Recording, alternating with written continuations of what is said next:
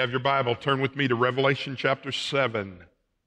Revelation chapter 7. We are walking through Revelation, verse by verse, line by line. And uh, we are at chapter 7. The title of my message today is one word redemption. Redemption. Folks, there is no better word in Christian language than redemption. It is what Jesus Christ has done for you. You can't save yourself. You can't work your way into heaven. You can't be good enough. You can't go to church enough. You can't give enough. You can't witness enough to get into heaven. But you can die to self, ask for forgiveness of your sins, and invite Jesus Christ to be Lord of your life. That is salvation. And redemption here is mentioned, and it is a huge word in our text before us. It really is. Let me give you the outline. If you have your bulletin and want to follow along. Number one, and by the way, Betty, I have two points today. Two. So you picked a good Sunday to do that. Number one, the, the one 144,000 sealed Jews. 144,000. And the second point is the multitude of saved Gentiles. Folks, there's been some great revivals in the history of mankind. Uh, all through the centuries, we have seen some revivals. But according to the Word of God and what we will see today, this will be the greatest revival in all of mankind. And isn't it just like God to save his best for last? And folks, God clearly here is doing things that he has not done before. And when we walk through the book of Revelation, uh, we have to look at it, uh, yes, symbolic, symbolically, but also literally. You know, in chapter 7 of Revelation, it is an interlude between the sixth and seventh seal. Chapter 6 showed us a time of unbelievable disasters, unending terror, and death that, re- that will result during the tribulation of the first five seals. They were bad enough, but the opening of the sixth seal, which we covered last week, called the Day of the Lord, will far surpass the first five seals. The world as a whole will refuse to acknowledge God's warnings. There will be two groups of people that will survive the divine judgment of God. The first group will be Jewish evangelists who will be under the divine protection of God. The second group of people will be the saved Gentiles who will be martyred and ushered into heaven. While God is a God of wrath and judgment, He is also a God of mercy and grace. Let's look at this incredible scripture in Revelation 7 where we see one of the greatest revivals ever seen by mankind. John's first vision begins in verse 1, and his second vision begins in verse 9. Redemption, of 144,000 sealed Jews. The Bible says, after these things, what is that after? The sixth seal is what he is talking about.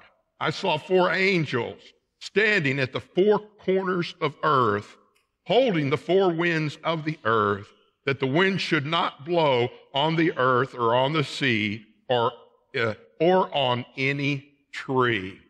When we see the four angels, we know angels are messengers of God, and we have seen angels all through the book of Revelation.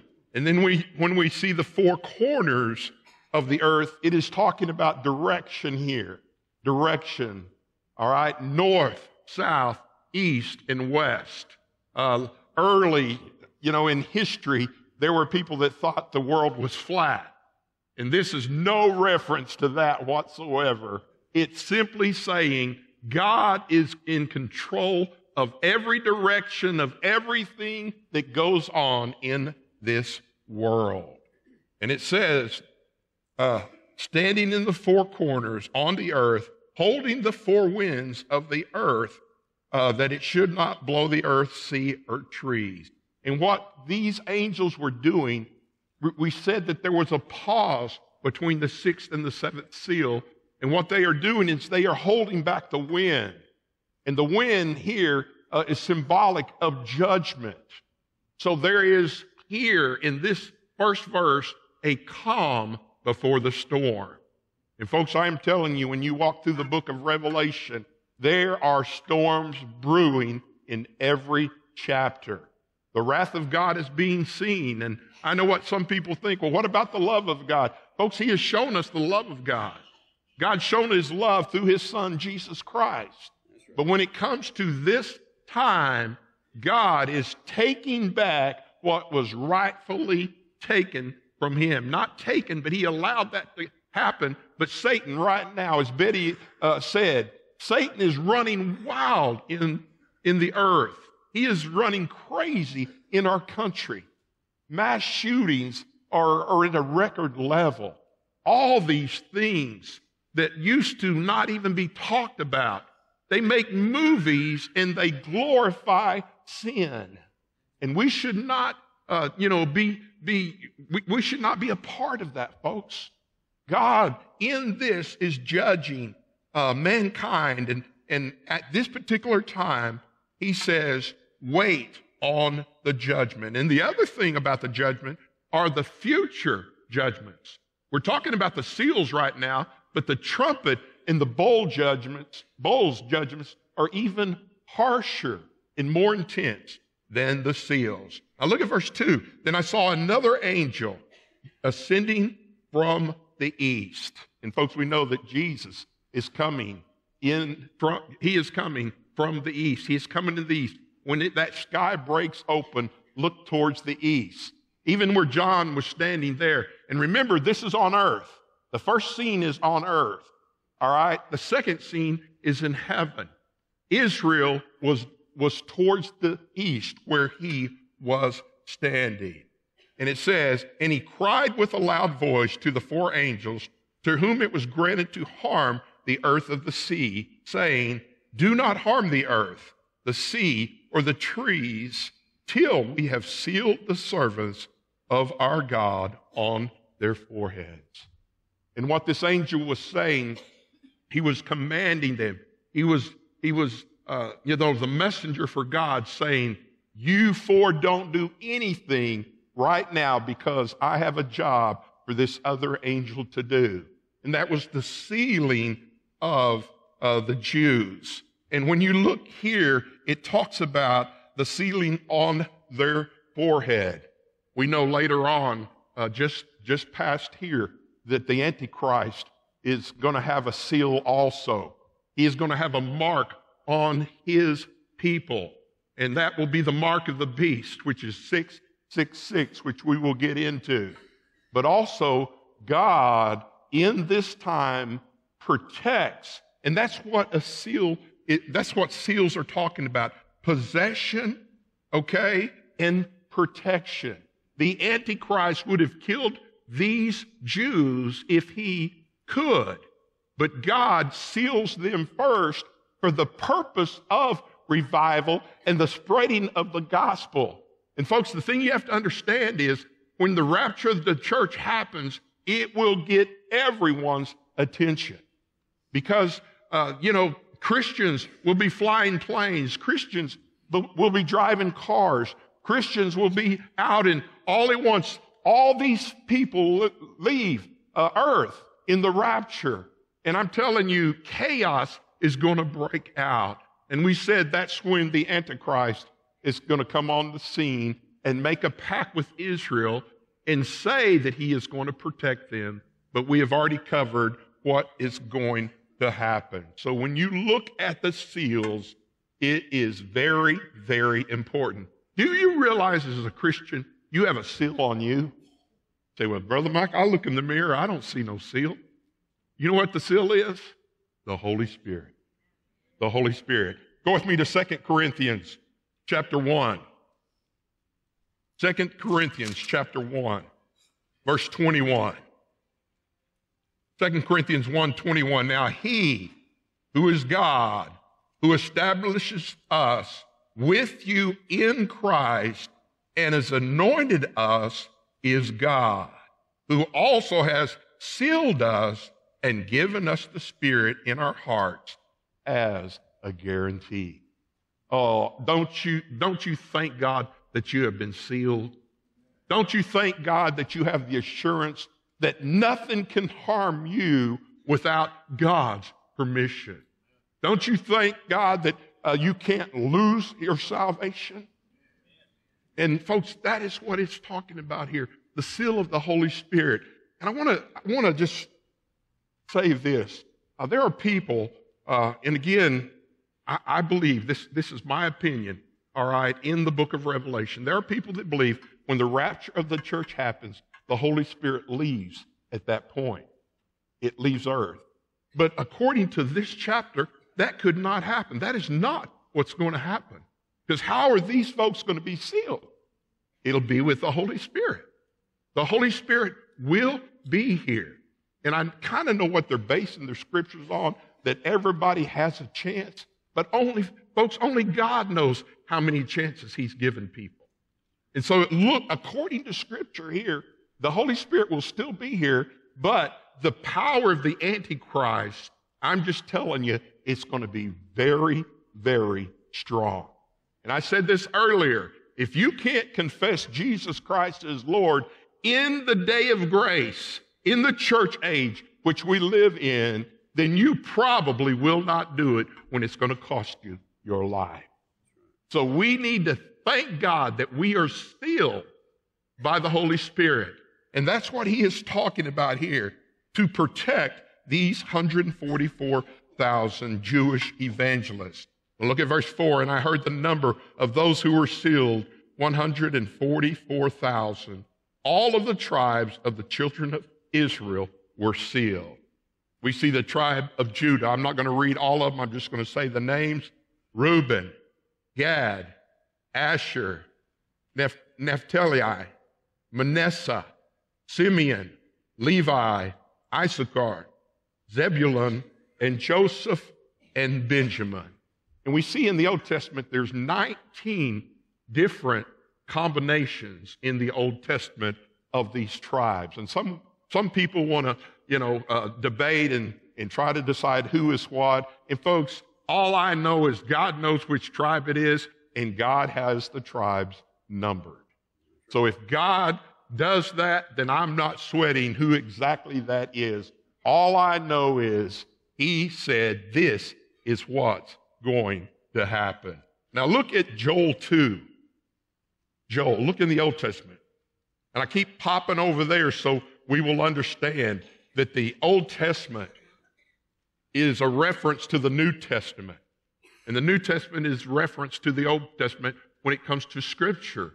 The Old Testament in Joel, this is prophetic scripture of things to come. And these were written, you know, years and years, many, many, many years apart. That's why I believe the Word of God because it tells us and it shows us and it proves to us what is said and predicted in prophecy happens in the New Testament. And God's word is always true. His promises will always come true. Now, Joel chapter 2, verse 28. And it shall come to pass afterward that I will pour my spirit out on all flesh. Your sons and your daughters shall prophesy. Your old men shall dream dreams. Your young men shall see visions, and also my, ma- my men servants and on my maid servants I will pour out my spirit in those days. You say, well, Brother Mike, how do you know that's the period that we're talking about? I'm glad you asked. Let's read the rest of the scripture. And I will show wonders in the heavens and in the earth, blood and fire and pillars of smoke. The sun shall be turned into darkness and the moon into blood. Is that not word for word what we studied last week? In the sixth seal. So, folks, the God's word is true. It is yes, it is amen. And if God says it's going to happen, it's going to happen. Before the coming of the great and awesome day of the Lord. Remember the tribulation is the first half, which we are in now, and we are talking about in Revelation. All right? The great tribulation, that is going to be even worse. Verse 32 And it shall come to pass that whoever calls on the name of the Lord shall be saved. See, we think that's the New Testament thing, but there are many quotes in Scripture in the New Testament that are exact quotes from the Old Testament, and the writers were different, different men and in a different time period, but they are exactly what the Word of God says. And it says, For in Mount Zion, in Jerusalem, there shall be deliverance. Oh, my friend, one day Jesus is going to come back, folks. He is going to take over Jerusalem again, and he is going to rule, and we will be part of that millennium kingdom. As the Lord has said, among the remnants who the Lord calls. Matter of fact, Acts 12, we are talking about the New Testament church. One more scripture before we go on. Acts chapter, excuse me, Acts chapter 4. Acts chapter 4, verse 12. The Bible says, Nor is there salvation in any other, for there is no other name under heaven given among men by which we must be saved. Folks, it's Jesus. It's Jesus. Jesus is everything to our doctrine. Jesus is everything to our faith. Jesus was the one that was sent from heaven by God. The Holy Spirit was placed inside of Mary. Jesus was born of a virgin, a virgin. He was sinless. He was perfect. He lived a perfect life. He lived 33 years and died on a cross. And that is redemption. What's redemption? He didn't stay in the grave. After three days, Jesus arose from the death, uh, having victory over death, and now sits at the right hand of God. So we see the 144 sealed Jews spoken of here in Revelation. And this all takes place on earth. And now, starting in verse 9, everything moves to heaven. It moves to heaven. The Bible says, the multitude of saved Gentiles. And after these things, after these things that had happened before, it's what he's talking about.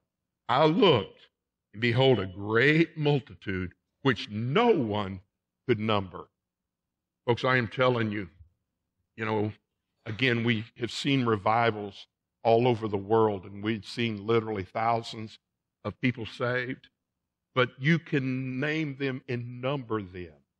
This is saying there are going to be so many people saved. Why? Because they saw the rapture of the church. They were left behind. And I'm telling you, they are going to, and, and many people will figure out hey, it was the Christian. That was the common denominator in these people leaving earth. And I'm telling you, and, and again, folks, I know the Antichrist will be at his thing and he will be doing his thing. And he will destroy people during this time of tribulation. And part of these are the people that come to know Christ because of these Jewish evangelists that were sharing the gospel here on earth. And the reason they are up in heaven at this time is because they will become martyrs. They will stand for their faith, uh, their faith. They will testify. They will not deny that Jesus Christ is Lord. And these are innumerable. And notice what else about them is of all nations and tribes and peoples and tongues. This is not just one nation. This is not just the United States. It is all the world. It is all the world. There'll be so many of these, these judgments and these seals things happen. And, and you know, everything from volcanoes to earthquakes to the sun dark. And, and people are, are realizing that this thing is real. This is real. And these folks will put their faith and trust in Jesus Christ because of these Jewish evangelists. And by the way, there's basically four different types of religion that claims that they are the 144. And I'm not going to name them, but I'm simply saying, I will go by the Word of God, and we will go by what the Word of God says. And it says, now look at this standing before the throne, before the Lamb, clothed in white robes. That's how we know they are saved. It is the righteousness of God. It is the purity, and, and white stands for holiness. Folks, I cannot tell you how holy God is. I cannot tell you how holy heaven will be. No temptation, no sin, no attitude, no lies, no deception. A perfect place. And they are standing before Jesus with palm branches in their hand. What does that remind you of? Remember Jesus before Passion Week came riding in, riding in on a donkey, and people laid their coats on the ground and they were waving palm branches. And you know what it is a sign of? It is a sign of praise and it is a sign of victory. Oh, folks, one of the things that Christians in the early years would do is they would put up this. And when we put this up, we're thinking peace. But do you know what that meant to the early Christian? It meant victory. Victory. Folks, we win because God wins. So we see this group of saved Gentiles with palm branches in their hands and crying out with a loud voice, saying, Salvation belongs to our God who sits on the throne and to the Lamb. So we see this praise and this worship breaks out in heaven. And by the way, if you don't like a church service, you probably aren't going to enjoy heaven. Matter of fact, I'm not so sure you're even going there, to be honest with you. I'm not trying to be ugly, but if you can't take this, how are you going to take that forever and ever and ever and ever? Folks, I cannot describe to you how great heaven's going to be. And towards the end of the book of Revelation, I just agree with Jesus' word. Even come now, Lord Jesus. The Bible says, And all the angels stood around the throne and the elders and the four living creatures and fell on their faces before the throne and worshiped God. Oh, folks, we didn't come here just to say we attended church. We came here today to worship God, to worship Jesus Christ, to sense the Holy Spirit in this place, to praise His name, and to recognize God and Jesus and the Holy Spirit uh, and who they are, and saying, Amen, blessing and glory and wisdom and thanksgiving and honor and power be to our Lord God forever and ever. Folks, these are the saved Gentiles. Hold your finger there and go to Isaiah 1 with me. I want to throw some old scripture in here, Old Testament scripture. Isaiah 1. This is the prophet Isaiah speaking early in the book of Isaiah. Look at verse 16. And, folks, these are characteristics of the redeemed. Characteristics. And these are characteristics we need to have in our life even today. Wash yourselves and make yourselves clean. And it's not talking about a bath there. Now, no, everyone needs a bath and a shower. That's not what I mean. It's simply saying stay clean, confess up. Don't make peace with sin. Ask for forgiveness of your sin. Put away the evil of your doings from before my eyes. Cease to do evil. Learn to do good. Seek justice. Rebuke the oppressor. Defend the fatherless and plead for the widow. We as Christians need to do these things in our lives. And then the part I wanted you to see come now and let us reason together, says the Lord. Though your sins are like scarlet, they shall be as white as snow. Though they are red like crimson, they shall be like wool. Oh, I'm telling you, folks, when you invited Jesus Christ into your life, you put off your dirty, filthy rags. You took them off. and you invited Jesus into your life, and Jesus put a white robe on you. Oh, folks, what a, what a beautiful uh, thing. What a beautiful thing that happens in our life. At the end of our life, I am telling you, Jesus will see you in a white robe, and we praise the Lord for that. Now let's keep reading in verse 13 back in Revelation. Then one of the elders answered, saying to me, Who are these arrayed in white robes, and where did they come from? And again, we, we are talking about redemption. All right. They come from the tribulation period. These are the Gentiles from all nations and tongues. And it says in verse 14, And I said to him, Sir, you know. So he said to me, These are the ones who come out of the great tribulation and washed their robes and made them white in the blood of the Lamb. Oh, the blood of Jesus. Oh, the blood of Jesus. You realize there are some denominations taking blood out of their hymnals? Taking them out. Folks, the blood of Jesus is everything. It was shed for you and I. Matter of fact, two weeks from today, we will be taking the Lord's Supper. And it is a reminder of Jesus' blood that was shed for us.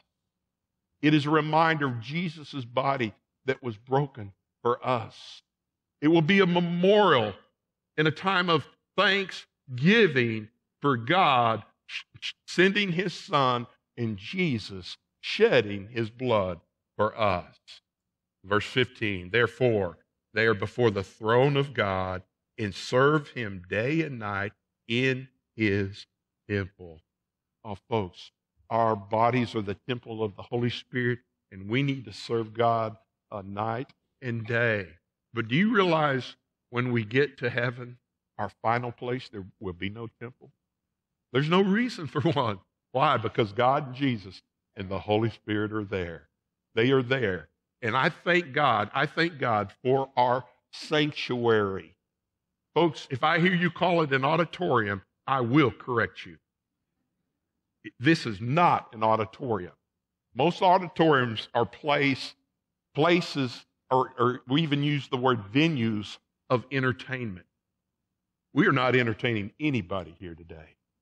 We are lifting up the name of Jesus Christ. This is His sanctuary, and heaven is our final resting place. And He who sits on the throne will dwell within and they shall neither hunger nor any more or thirst any more, and the sun shall not strike them, nor any heat. What is the reminder here? Of what these tribulation uh, folks went through. Of all, I mean, they're almost like plagues that we were talking about. All these, uh, these judgments, these seals judgments, many of them had to go through all those things, all right, where meteors are hitting the earth and killing people, and people are wanting to go in caves and hide from them.